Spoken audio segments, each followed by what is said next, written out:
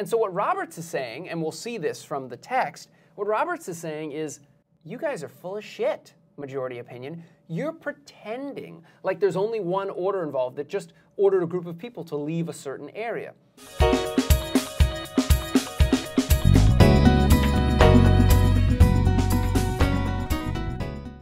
Today, we're talking about a US Supreme Court case that famously ruled that Japanese internment during World War II was compatible with the US Constitution. The name of this case is Korematsu v. United States. The basic facts of the case, at least on the surface, appear very simple. There was a citizen, a US citizen. He was Japanese in the sense that he had Japanese ancestry, but he was a full fledged US citizen. His name was Korematsu.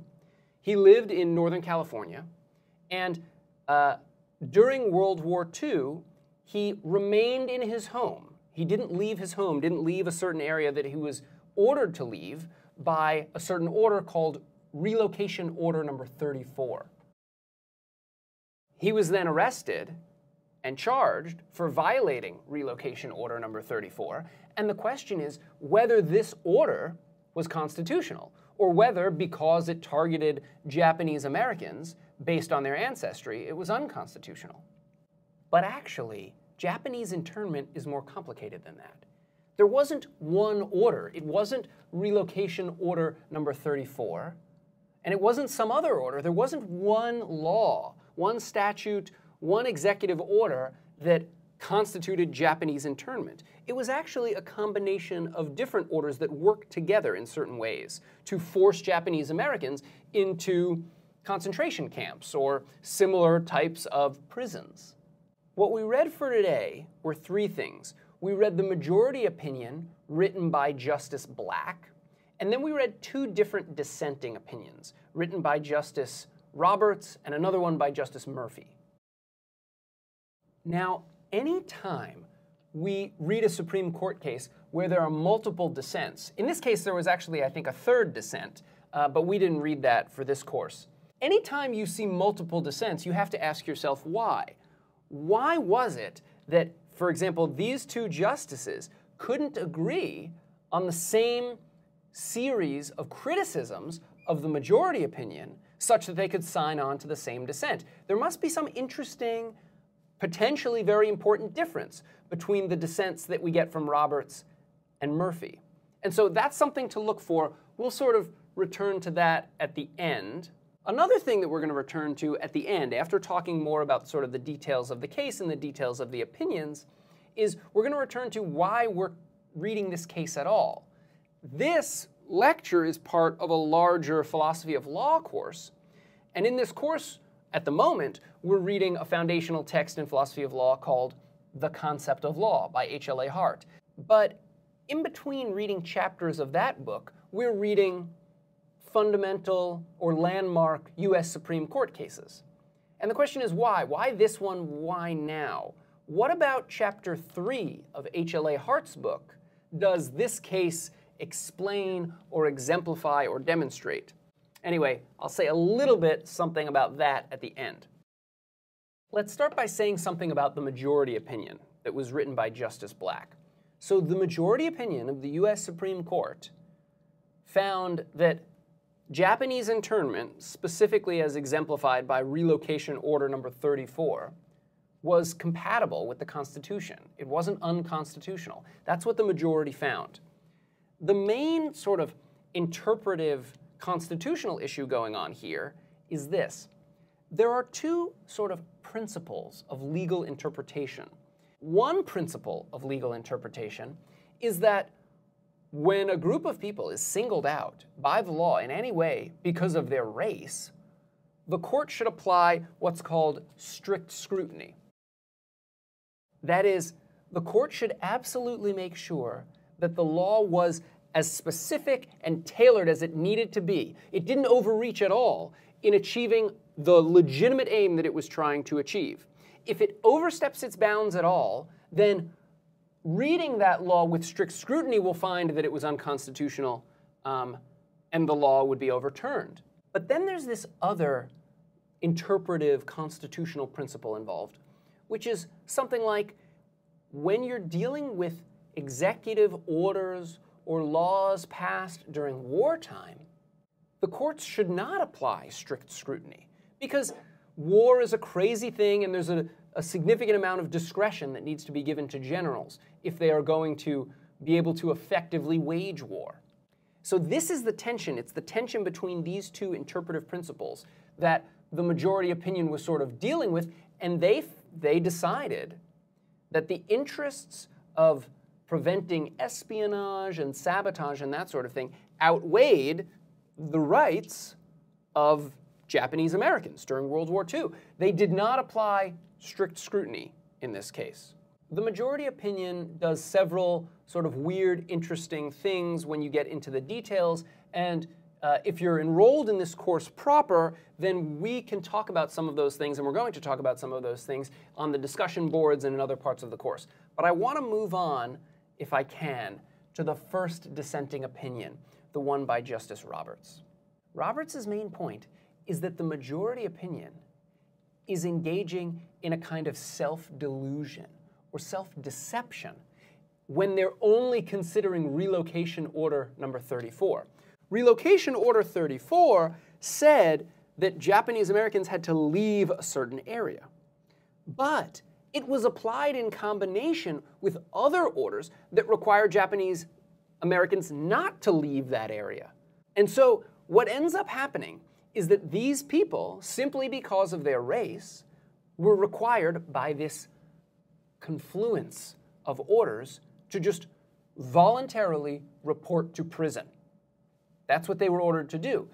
And that only happened as a result not of relocation number 34, but of, I think it was called Proclamation 4 or something like that, some other, a whole bunch of other uh, orders that were given to Japanese Americans.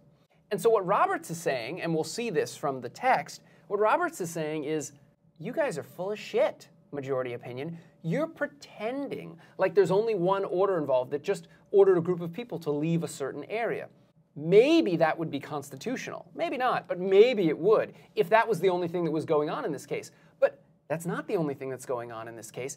And the majority opinion, in order to justify this practice, is sort of pretending that that's the only thing going on. Because if they acknowledged really and truly that there was this combination of orders that was being imposed on Japanese Americans, if they acknowledge that, Roberts says, well, then obviously they would find that this practice, Japanese internment, is unconstitutional. Here's what Roberts says. Before we talk about this passage from Justice Roberts, from the first dissent that we read for today, while I was writing that passage up, I realized that I made a mistake. This order wasn't called Relocation Order Number 34, it was called Exclusion Order Number 34. Sorry, got to get the details right.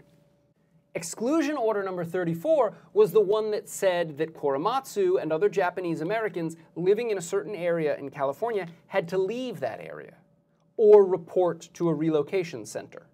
Proclamation number four, the one that the majority opinion wants to ignore, is the one that said they can't leave that area.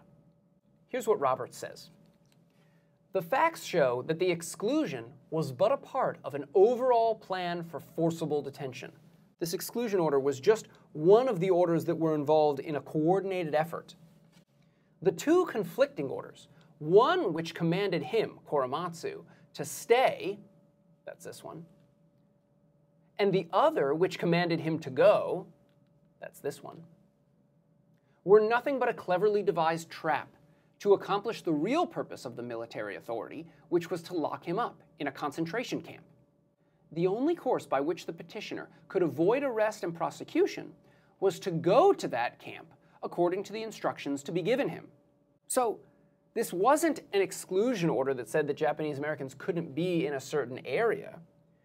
This was an arrest order that was given to Japanese Americans purely based on their race. And Roberts thinks that's a big difference. It's a big difference to exclude people from an area because of their race and to uh, imprison them because of their race. Now, you might think both of those are bad. Maybe they're not equally bad, but, Both of them are sufficiently bad, in which case you'll be interested in what Justice Murphy has to say. Anyway, Roberts continues We know that this is the fact. Why should we set up a figmentary and artificial situation instead of addressing ourselves to the actualities of the case? Roberts is asking, why is the majority opinion? Why are the majority justices, the justices that signed on to the majority opinion, why are they pretending like there was only one order involved, an exclusion order? Why aren't they talking about the real case as it really was, which involved a combination of multiple orders that had the result of imprisoning Japanese Americans? This is a rhetorical question that Roberts asks in his dissent, and the straightforward answer that is suggested is well, we shouldn't. We shouldn't set up a figmentary artificial situation instead of addressing ourselves to the actualities of the case. But there's also another answer that is suggested by Roberts asking this question. The question, why should we set up this artificial situation? Why should we pretend that there was only one order? And that suggested answer is, well, the majority justices, they pretend that there's only one order because that's the only way they can stomach giving this result, handing down this ruling that they would that they know is unjust, at least on some level, and that they know is incorrect. And they wouldn't be able to convince themselves to do it if they were to really confront the actualities of the case, which is that there was this other order, this proclamation order that prevented them from leaving the area. And so they were thereby forced to just go to these relocation centers and ultimately go to prisons or concentration camps. Now let's talk about the dissent of Justice Murphy. Murphy doesn't sign on to Roberts' opinion really for the following reason. Roberts says, look, the majority opinion is ignoring the facts. They're pretending like there's only one order that targeted Japanese Americans, just an order that told them to leave an area. But there's really two orders. But that criticism suggests that, well, if there were really only one order, then maybe the majority opinion would be right. Justice Murphy thinks no. Even if there was just one order that we were talking about, in order to leave a certain area, even if Japanese Americans weren't being imprisoned based on their race or their ancestry or whatever, it would still be wrong, it would still be unconstitutional. And that's the sort of thing that Murphy wants to emphasize. Murphy basically wants to say, look, this exclusion order, even all by itself, was just too racist to be constitutional. Here's what Murphy says The exclusion, either temporarily or permanently, of all persons with Japanese blood in their veins has no reasonable relation to the removal of the dangers of invasion, sabotage, and espionage. Notice one thing that Murphy's doing here. He's pointing out that even if we don't apply strict scrutiny, even if we're only looking for just some reasonable connection between the deserving or legitimate aims of the military authority, of the military leaders, that is, it's a legitimate aim to want to prevent sabotage or espionage or invasion of North America by the Japanese during World War II. That's a legitimate aim, fine. Even if all we want all we need in order to uphold these laws and find them to be compatible with the Constitution, if all we want is for there to be some reasonable connection, something whatsoever, between the orders as they were given and the aim that they attempted to achieve, even if we were looking for just some connection, any barely reasonable connection, we wouldn't find it. Why is there no reasonable connection at all? Why should these laws be struck down even if we don't apply strict scrutiny? Murphy says that relation is lacking because that, that is that rational relation between the order given and the purpose or the aim of the order. That relation is lacking because the exclusion order necessarily must rely for its reasonableness. So it doesn't have this reasonableness. It needs to rely on this to have reasonableness, and, it, and, and it's unreasonable. Anyway, it must rely for its reasonableness on the assumption that all persons of Japanese ancestry may, be a, may have a dangerous tendency to commit sabotage and espionage. That is, that's such an unreasonable claim that merely having Japanese ancestry makes you, gives you this tendency, this dangerous tendency to commit sabotage or espionage against the United States, right? that unreasonable assumption is the only way that a connection can be made between the order that was given and the purpose of the order. And because that assumption is so unreasonable, there is no rational or reasonable connection. And so even if we don't apply strict scrutiny, uh, we should find that this law is unconstitutional. That this forced exclusion was the result, in good measure, of this erroneous assumption of racial guilt rather than bona fide military necessity is evidenced by, and then Murphy goes on to give a whole bunch of examples of super racist stuff that leaders of the US military said. Things about the Japanese being uh, members of a, what was it? They're members of a subversive race, the enemy race. These are the ways in which the US military leaders were talking. And so, and that's the evidence that they were relying on this assumption of racial guilt. And because that assumption of racial guilt is inaccurate, there is no reasonable connection between the order given and the purpose of that order. And so Murphy thinks even if there was only one order involved, well, then that one order would be unconstitutional.